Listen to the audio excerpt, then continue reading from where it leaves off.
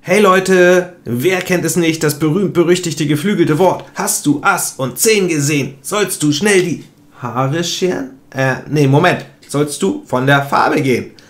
Alles klar? Ah, vielleicht gucken wir uns das doch nochmal ein bisschen genauer an, was damit überhaupt gemeint ist. Hast du Ass und Zehn gesehen? Sollst du von der Farbe gehen? Ja, das kann man sich vor allen Dingen erstmal gut einprägen und das klingt auch recht einfach. Und ich denke mal, ihr habt auch verstanden, wenn es beim Skat um Farben geht, dass da mit Kreuz, Herz, Pik und Karo gemeint ist. Und genauso habt ihr sicher auch registriert, dass hier schon der erste Fehler im Konzept ist. Natürlich ist gemeint, wenn Ass und 10 aus einer Farbe vom Tisch sind, aus dem Spiel sind, dass dann die Farbe gewechselt werden soll, also nicht mehr in dem Beispiel Kreuz nachgespielt werden sollte. Das ist eine Strategie, die gilt für die Gegenspieler und es ist eine Strategie, die gilt hauptsächlich für die Spieleröffnung. Aber tatsächlich ist mir schon beim Überlegen von entsprechenden Beispielen aufgefallen, dass das gar nicht so leicht ist, da was Wasserdichtes hinzustellen und das wirklich allen kritischen Beäugungen äh, standhält. Also man kann vielleicht sofort als erstes mal feststellen, es gibt sehr viele Ausnahmen. Diesen Spruch solltet ihr mit Vorsicht genießen. Ja, und bevor wir jetzt trotzdem uns Beispiele anschauen, wer jetzt mir schreiben möchte, hey Daniel, Fehler, da sind zwei Kreuz Asse im Spiel, ja, ähm, ich habe hier drei Karten aus einem anderen Deck genommen, um das zu demonstrieren. Die gehen jetzt auch raus und jetzt gucken wir uns mal ein Beispiel an, wo dieser Spruch zum Einsatz kommt.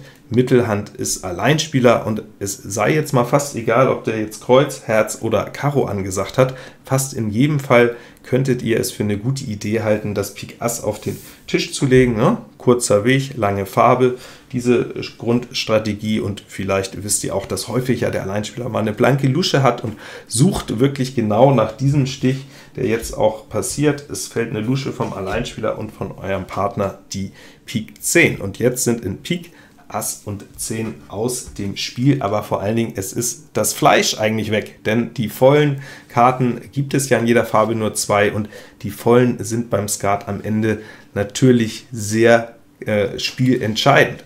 Gehen die vollen 5 zu 3 aus, hat schon meistens der Spieler am Ende über 60 Augen, der 5 volle hat. Gehen sie 6 zu 2 oder noch deutlicher aus, ist es ganz klar. Und Spannend werden die Partien natürlich in aller Regel dann, wenn die vollen 4 zu 4 verteilt sind. Und das heißt, in dieser ähm, Logik, in dieser Mathematik habt ihr keinen vollen zu verschenken. Und wenn ihr ihm jetzt die Pik 8 nachspielt, das ist quasi eine ganz schlechte Karte, irgendwie verboten. Denn wenn der Alleinspieler jetzt keinen Pik mehr hat, dann kann er eine andere schlechte Karte abwerfen und sehr wahrscheinlich geht das Spiel sogar noch nach Hinterhand. Das heißt, euer Partner muss dann die Pik Lusche übernehmen mit der Dame oder mit dem König. Das heißt, der Alleinspieler ist nicht nur auf drei oder vier Augen eine Fehlkarte losgeworden, sondern seine Position hat sich auch noch verbessert. Er sitzt dann in Hinterhand. Also jetzt eine Pik Lusche fortzusetzen, wirklich ein No-Go für so eine Situation gilt der Spruch. Der Spruch gilt mit großer Sicherheit nicht für eine Situation, wo der Alleinspieler in Hinterhand sitzt und euer Partner, äh, sagen wir jetzt mal, ähm, Kreuz 10 ausspielt und etwa wäre Pik jetzt Trumpf, dann ist ja relativ deutlich, dass euer Partner jetzt gerade blank ausgespielt hat. Ihr übernehmt mit dem Kreuz Ass der Alleinspieler muss bedienen. Und jetzt ist es natürlich eine ganz logische Fortsetzung, den König nachzusetzen, denn ihr habt ja den Partner äh, in Hinterhand, den Alleinspieler in Mittelhand. Der Alleinspieler muss, wenn er nicht beide Kreuzen gedrückt hat, Kreuz noch bedienen. Euer Partner kann schmieren, euer Partner kann gegebenenfalls abwerfen, euer Partner kann später überstechen. Gerade wenn ihr selber etwa bei, bei Pik Trumpf ist, ein paar Trümpfe habt oder bei Karo, also euer Partner nicht noch mehr Trümpfe hat. Also äh, in so einer Situation natürlich trotzdem die Farbe weiterspielen. Ne? Ähm, und es gibt weitere Situationen, gerade zum Beispiel bei Grang-Spielen, wo auch mal sehr häufig das Tempo eine Rolle spielt. Also der Alleinspieler einfach ähm, nur zwei Buben hat vielleicht und zwei Buben dagegen stehen ihn dann mit einer langen Farbe äh, weiter zu quälen und eurem Partner Abwürfe zu erlauben, auch das ist drin, auch das ist möglich. Und selbstverständlich, wenn schon ein paar Stiche gespielt sind, wenn sich die Karte schon so ein bisschen aufgeklärt hat, wie viel Trümpfe hat er überhaupt, was sind seine Schwächen in der Beikarte, dann kann auch bei Farbspielen in ähnlichen Situationen äh, angesagt sein, eine Farbe nachzusetzen. Also von daher, es ist hier wirklich nur eine Bauernregel für die Spieleröffnung. Es geht darauf, so ein bisschen den Blick zu schärfen. Die Vollen sind die entscheidenden Karten und man sollte es dem Alleinspieler nicht zu leicht machen, ähm, ja, günstig Luschen abzuwerfen. Vielleicht nochmal ein weiteres Beispiel, auch ein echter Klassiker. Nur mal angenommen, ihr habt selber gegen den Alleinspieler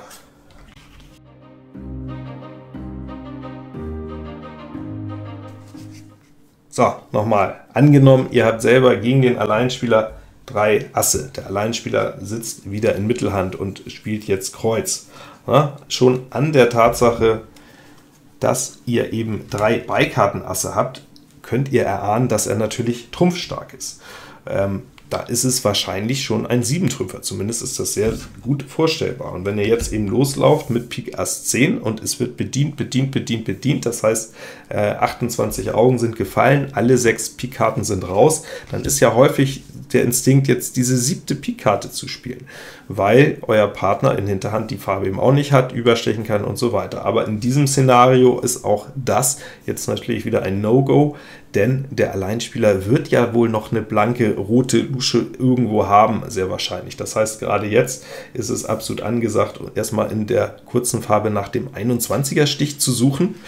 Ähm, na, Herz Ass hinterher, nochmal Lusche 10, das ist die Hoffnung, und dann kommt die Pik Lusche, oder dann kommt sogar erst nochmal das Karo Ass, aber dann kann die Pik Lusche den Alleinspieler unter Druck setzen. Mit dem Pik Buben könnt ihr vielleicht den äh, Trumpf vollen einsammeln von eurem Partner und damit den Sack auf 61 zumachen, äh, oder ja, der Alleinspieler, wenn ihr selber hier einen vollen habt, muss vielleicht auf diese Lusche jetzt einen Bauern opfern, weil er nicht genau weiß, wo der Trumpfvolle sitzt. Also auch das ein Beispiel, wo jetzt von der Farbe zu gehen ist, noch aus einem anderen Grund, nämlich aus dem Grund, dass ihr selber überschauen könnt.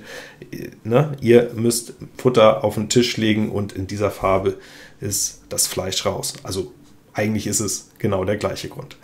Ja, das ist die Message zum Thema Hast du Ass und 10 gesehen? Von der Farbe gehen.